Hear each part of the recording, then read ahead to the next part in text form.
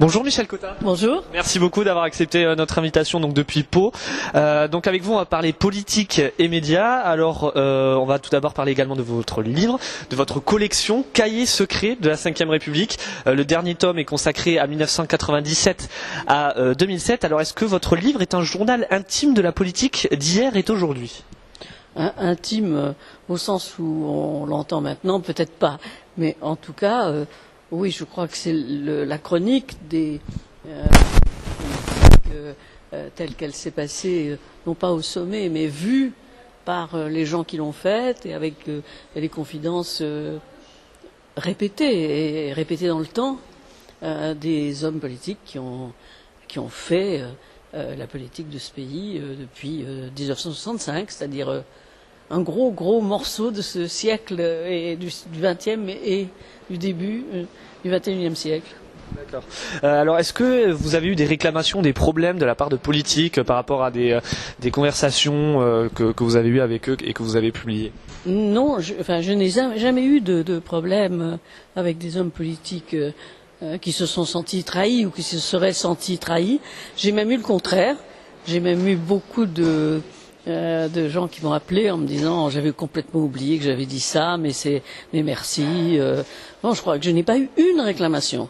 Et quand même sur un, un ensemble de, de euh, je sais pas 4000 pages euh, dans lequel euh, euh, les hommes politiques sont cités vraiment euh, d'une manière permanente, je trouve que c'est pas mal. J'ai même eu aussi des, des gens qui m'ont appelé en disant vous, vous, vous avez dit ça, vous avez dit que j'avais rencontré un tel tel jour à telle heure, vous avez tout à fait raison, c'est bien tel jour à telle heure que je l'ai rencontré, voilà.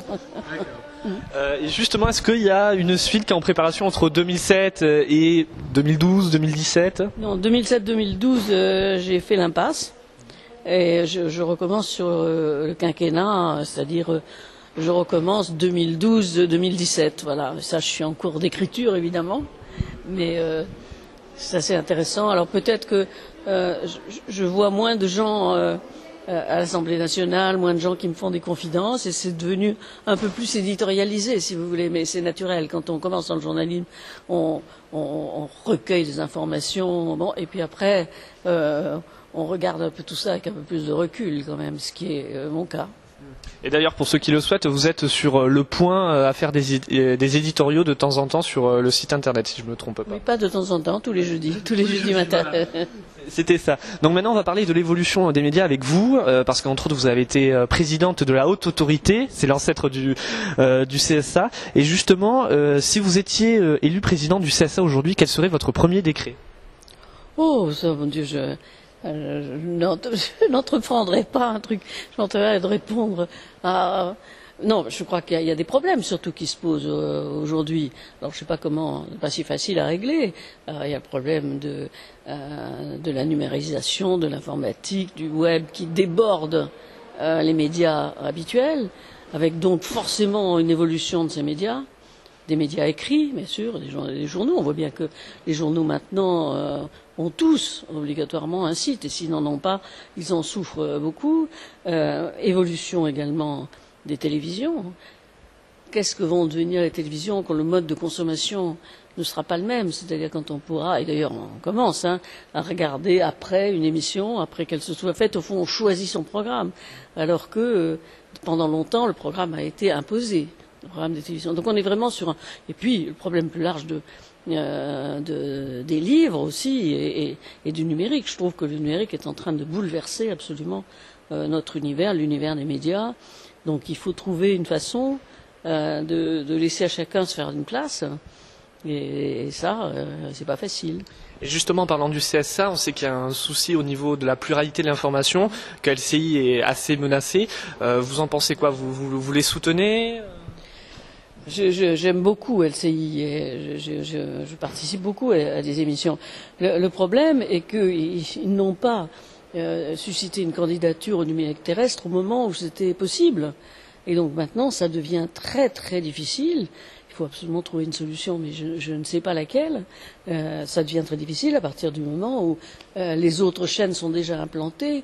Et par conséquent, si on donne la visibilité euh, du numérique terrestre à, LCI, c'est un, une cascade de procès euh, qui, de, BFM TV, de ITV, etc., qui, qui menacent. Donc c'est pas si facile.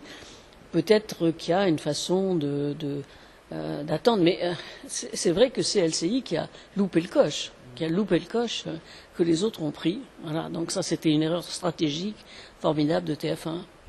Et justement, LCI, BFM TV, iTélé, ces nouvelles chaînes d'information, euh, vous en pensez quoi de maintenant cette nouvelle instantanéité de l'information? J'en pense des choses très opposées. D'abord, euh, c'est quand même formidable d'avoir des chaînes d'information continues.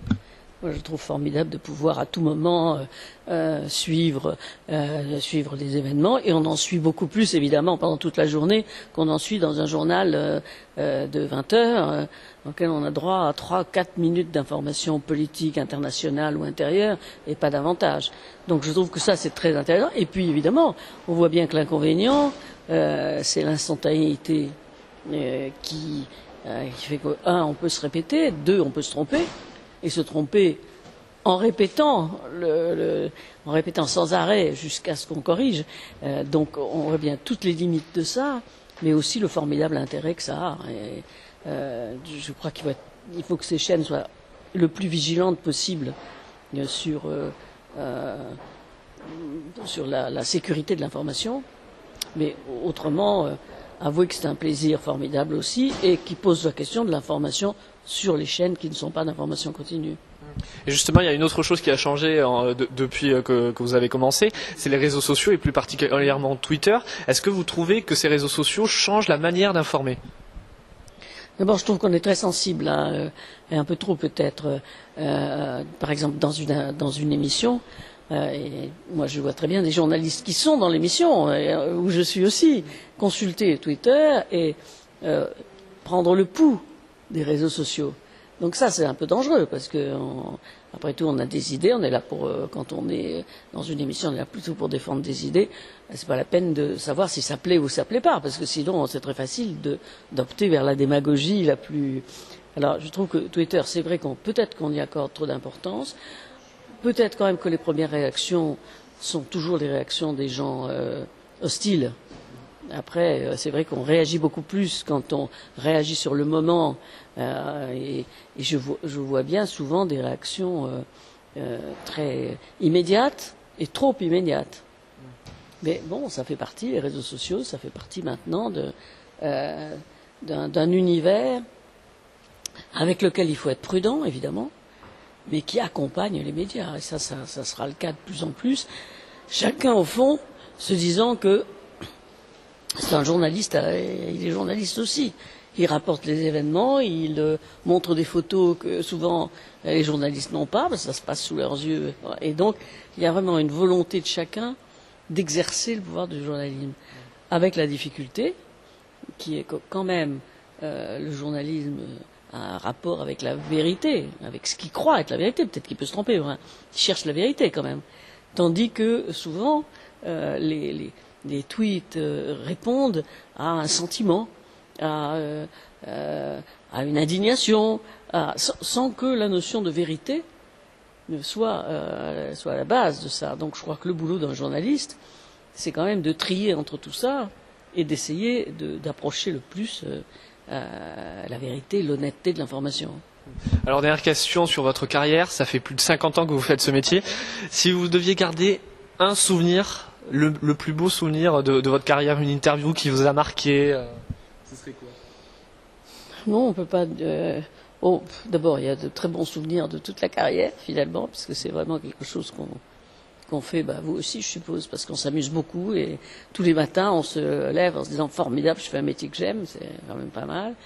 Euh, non, j'ai beaucoup. Je, crois que le souvenir le plus euh, aigu, ça a été euh, celui du débat euh, que j'ai arbitré avec un collègue qui s'appelait Livanier entre François Mitterrand et Jacques Chirac en, 19, en 1988.